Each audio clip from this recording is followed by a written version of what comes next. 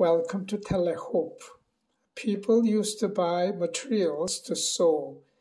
Even though they shopped carefully for fabric, there were always a few scraps left.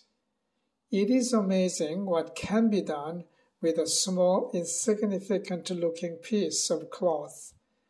The smallest remnants could be sewn together to make quilt tops, pillows, doll dresses.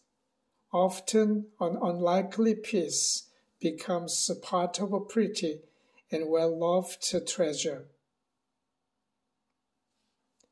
No matter how insignificant we may feel, no matter how few we perceive our talents to be, if we turn them over to master artisan,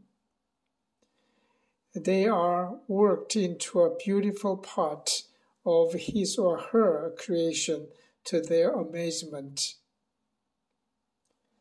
Now to him who is able to accomplish abundantly far more than all we can ask or imagine. Ephesians 3:20.